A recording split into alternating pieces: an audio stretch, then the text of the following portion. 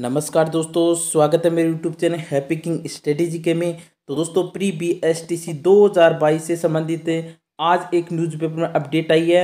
यह अपडेट आपके दैनिक भास्कर न्यूज़पेपर ने दोस्तों ये अपडेट दिया है। क्या अपडेट है, आपको दोस्तों इस वीडियो में बताने वाला हूँ। तो दोस्तों, आपको वीडियो को एंड तक देखना है। साथ में जो भी स्टूडेंट अब तक चैनल को सब्सक्राइब नहीं किया दोस्तों चैनल को सब्सक्राइब कर ले, क्योंकि जो भी अपडेट आएगी बीएसटी से संबंधित, वो आपको सबसे पहले मिलती रहेगी।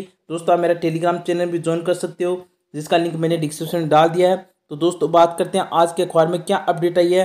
तो दोस्तों, ये अपडेट आपके परिणाम को लेकर दोस्तों, ये अपडेट दिया है। दोस्तों, इसमें लिखा गया है प्री डीएलएफ का परिणाम हुआ जल्द जारी। दोस्तों, इसमें लिखा गया है, दैनिक भास्कर आठ अक्टूबर को प्री डीएलएफ परीक्षा के परिणाम नवंबर के पहले सप्ताह तक जारी होने की उम्मीद। यानी दोस्तों, आपके नवंबर माह के पहले सप्ताह में आपका प्री बीएसटीसी का रिज़ल्ट जारी कर दिया जाएगा।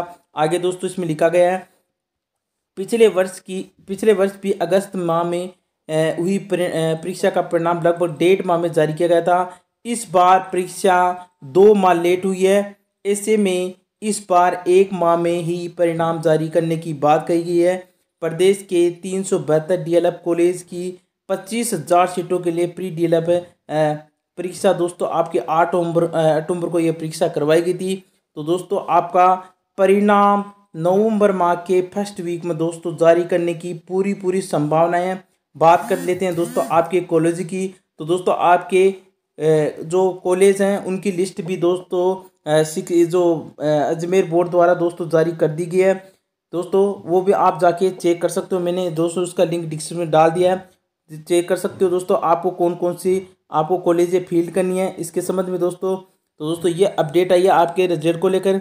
फिर मिलते हैं दोस्तों एक नई अपडेट के साथ, तब तक के लिए गुड बाय टेक केयर